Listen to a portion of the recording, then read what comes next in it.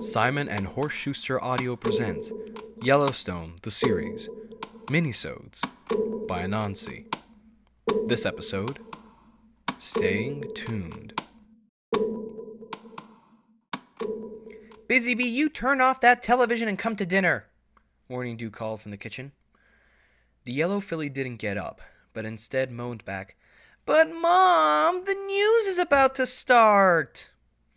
She returned her attention to the screen, brushing her unkempt mane out of her eyes. Morning Dew's sigh was audible, even from the kitchen. Ten minutes, Busy Bee. Then you will join the rest of your family at the table. Okay, sheesh.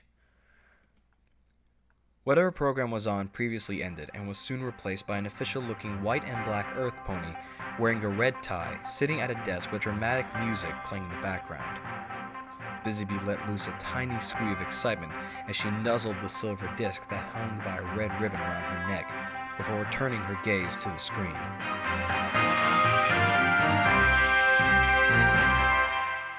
This is Print and Press with your West Coast news. Tonight's top story Chaos in New Folsom. Busybee gasped at the picture that appeared on the screen. It was of some fancy hotel lobby that had been completely wrecked. This morning at approximately 11 o'clock, members of the criminal organization known as the HLF, or Human Liberation Front, launched an attack on the home of self made billionaire, John Norris. They showed a picture of a disheveled and irritable man who had definitely not seen enough sunlight. She narrowed her eyes. Oh, ew, he looks gross. And his son, Azure Wind. A picture of a small, timid looking blue Pegasus appeared next to the man's photo. A meep from behind Busy Bee alerted her to the presence of her younger sister, Marigold. Turning to smile at her sister, Busy Bee waved to the small white and gold filly. Come on, Mary. Her sister quickly nestled close to her and watched the continuing news, nervously smiling at the photo of the blue small Pegasus. But what is most shocking is that the attack was stopped by a man who allegedly works for the mysterious human organization known only as the Agency, and a powerful unicorn that is a member of the Elite Equestrian Guard, which has never been reported to even exist until today. Marigold and Busy Bee exchanged excited looks. Marigold prodded her sister's side and asked, Do you think it's Miss Twilight and shh? Unfortunately, as is the case with such incidents, the President of the United States and Celestia herself have forbid revealing any names or pictures of the individuals in order to protect the identities of the heroic pair. However, an eyewitness account adds to the grisly scene as Sweetie Pop, the receptionist during the attack, recounts the events that took place. The screen cut to a peach colored mare with strawberry mane sitting behind the ruins of what must have been a beautiful desk before it was destroyed.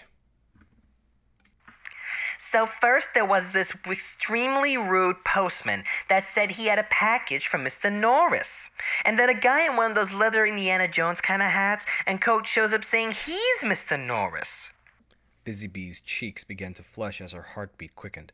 Then a freaking van drives through the front window, and all these HLF goons jump out and start shooting up the place. And here I am behind the desk, praying to Celestia not to die, and this cowboy guy and unicorn mare he's with are like, I don't know, exchanging playful banter or something, when the cowboy guy throws some dynamite at him. The mare waves her hooves around as she spoke, acting out the minor actions that were occurring in her story, much to the amusement of the fillies. And then the HLF are all dead, except for this one guy the unicorn tries to save for some reason. The mare's face suddenly looked off in the distance as she recalled what was happening next. And then the spider came. Celestia preserve me, that thing was as big as a horse. Like one of them uh, Shire horses you look up on the internet when you. you know. Anyway, Big Spider, Cowboy shoots it a lot, Unicorn casts some spell that makes her into some beefy stallion. She stabs the thing with her horn, and then the cowboy throws another stick of dynamite into the spider's guts, and then boom! Busy Bee and Marigold cheered in excitement, but quickly silenced themselves as the news reporter started to speak again. Truly fantastic stuff.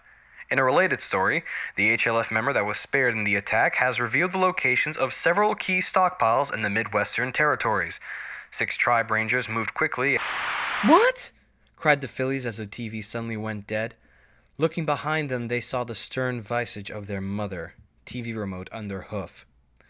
Come on, girls, that was your ten minutes. I won't have you two becoming couch potatoes, because then I'd have to eat you. Marigold gasped as she quickly hopped over to Morning Dew and nuzzled her mother's legs.